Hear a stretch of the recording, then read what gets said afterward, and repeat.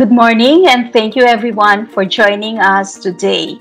It is with great pleasure that I introduce to you the new CMCI Data Analytics Platform, an initiative to provide a more interactive and user friendly interface not only for easier access to the CMCI database, but also to facilitate analysis and visualization for students, researchers, policymakers, and local and foreign investors and other stakeholders.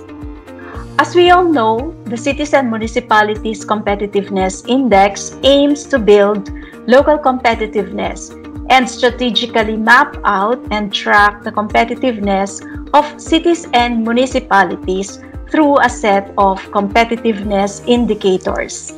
This is intended to empower the LGUs to measure and compare their current level of competitiveness against global standards, identify areas for improvement and growth, and introduce reforms and initiatives to boost local competitiveness. The DTI, in partnership with uh, the Regional Competitiveness Councils, collaborated with the local government units in gathering the necessary data to allow us to measure local competitiveness. For the last eight years, the number of LGUs participating in the CMCI increased significantly from 286 in 2013 to 1,518 LGUs this year. Given the importance of the CMCI database in policymaking, we initiated the Data Visualization and Analytics Project, a platform that aims to provide user-friendly and interactive tools to allow users to easily generate competitiveness indicators of LGUs and provide data trends and comparative results, perform simulations along with the creation of graphs and charts. All this could be done using the platform. The data analytics platform has made four major links consisting of the data portal, rankings page, an interactive map, and a library. By going to cmci.dti.gov.ph, the landing page immediately shows the CMCI rankings. An option is provided whether one wants to go directly to the rankings or data portal. The data portal shows the specific performance of uh, provinces and LGUs covering the major indicators of the four pillars economic dynamism, government efficiency, infrastructure, and resiliency from 2014 onwards. From the data portal, one could also access the LGU dashboard, which provides provincial and LGU profiles and other indicators shown in the menu of options. The rankings page allows one to see the LGU rankings based on their scores on the four pillars. Provincial rankings are also shown based on population and revenues. The interactive map shows heat maps based on the user's selected pillars by province or LGU.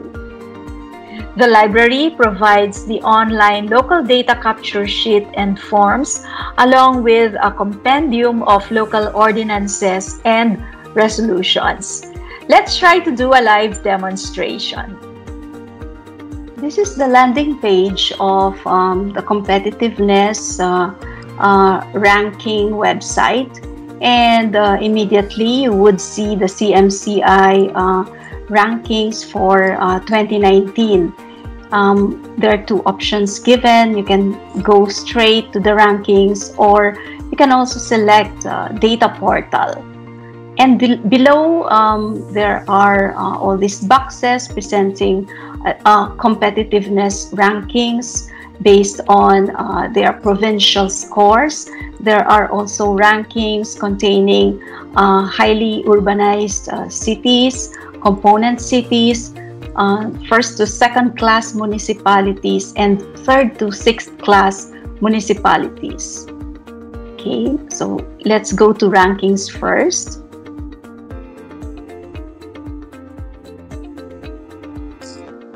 It's taking some time. Okay, there you go.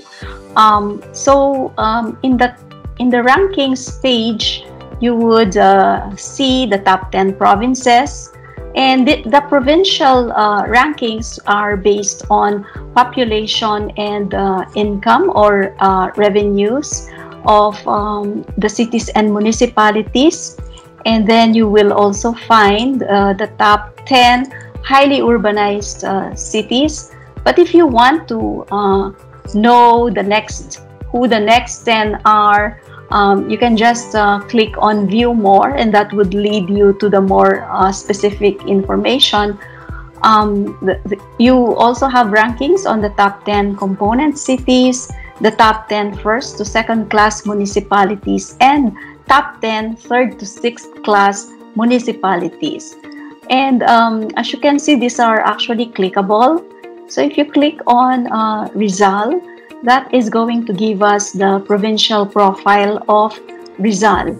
And uh, you would see this uh, chart containing the contribution of the different uh, cities and municipalities to the uh, score of uh, Rizal. Of course, these are based on population and uh, revenues. And again, you would see the scores of the different uh, cities and municipalities of uh, Rizal. Okay. If um, we uh, click on um, city, for instance, uh, now let's go to Manila. And here uh, you will find uh, the LGU profile. Um, you, you get the category, um, including who the mayor is, and the website and the address of um, the Manila City Hall. And um, you would also find here the scores of Manila on um, the major pillars economic dynamism, government efficiency, infrastructure, and resiliency. These are uh, the scores here given on this uh, uh, on this uh, spider chart and beside it is another chart that would um, indicate the ranking of Manila uh, vis-a-vis other highly urbanized uh, cities. Okay, and uh, moving on um, after rankings. Uh, okay, so we won't uh, go through each uh, anymore, but let's move on to data portal. For the data portal, again, you see this selection. You can click on that that's uh, the overall scores and containing the four major pillars. Then you have uh, economic dynamism along with the subsectoral um, indicators, government efficiency, infrastructure, and resiliency. So assuming we want to know more about the overall score, um, economic dynamism, government efficiency, infrastructure, and together with uh, resiliency, we have a choice between um, um, getting the rankings uh, based on uh, the provincial level or uh, LGU level. So uh, let's assume you want uh, to get one for Cebu okay, at the LGU level. And note that you can select more than one. Okay, so let's choose Manila. And then time series, we have from 2014 to 2019. So we just uh, click on process selection and that is going to provide us with uh, the charts containing the selections that we made. So these are uh, the charts that you see are by pillar. So you have the overall score of uh, Cebu and Manila. You also have economic dynamism for the two uh, LGUs, government efficiency and infrastructure and resiliency. And um, you would also see uh, the tables containing the scores. Okay. And this one, uh, this icon again would allow us to uh, download the data as well as the charts. Now we can also change uh, this uh, if we want um, by government unit. So uh, we'll be producing two two charts. Now we'll have uh, one for Cebu containing all the different um, indicators from 2014 to 2019. And then we'll also have the same format for Manila um, containing overall score uh, along with the other uh, major pillars covering the years 2014 to 2019. And again, uh, these are all uh, downloadable and uh, along with the chart is um, a table containing the scores. And you can also uh, change uh, the appearance of the chart. Maybe you want lines, so just click on lines and uh, we get this different graph. okay we now have lines instead instead of um, bars that we had earlier. We can also choose lines and the splines they uh, just change the appearance of the lines uh, now they're uh, smoother okay? So um, let's now move on to the interactive map. For the interactive map uh, what we will get would be uh, heat maps. As you can see the colors would range from red to green. Red, that means you have a very low score. And green, that would mean uh, you're get, getting high scores. So um, let's say we want to look at economic dynamism.